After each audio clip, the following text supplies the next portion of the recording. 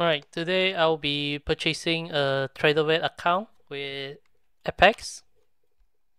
So we just go to the link and let's see. I am selecting the 50k account and I'll be using the Tradovate one.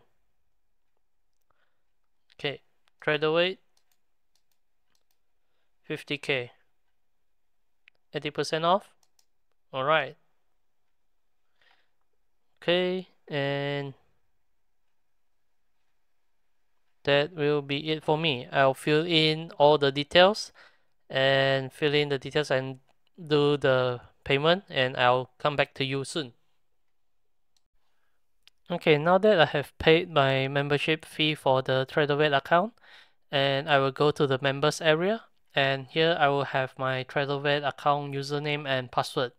So I'll need to go next to trader.tradovate.com and use the account's um, details given and use it to log in.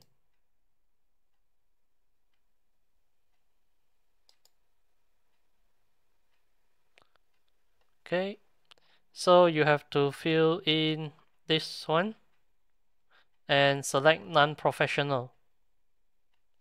Go through the um, agreement. I have read through this before. Okay. Agreed. Okay, so once you have uh, agreed with all the agreement, so you can go to the Tradovate dashboard, which is over here. And because I'm actually trying to um, go to TradingView right now, so I'm actually not interested in showing the current Tradovate dashboard.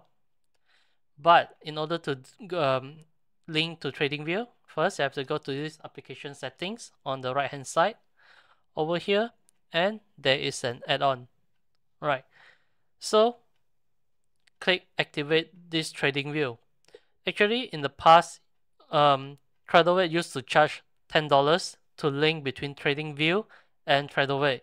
The reason you're seeing it priced for free right now is because the prop firms are paying for it. But in reality, they're actually passing down the cost to you because if you realize, even for Apex, the price for a Tradovate account is $20 higher than the price for the same Rithmic account. And where do you think the extra charges are going to? Alright, now I have activated this and all I have to do is just to go to TradingView, log into Tradovate and use my same Apex username and password.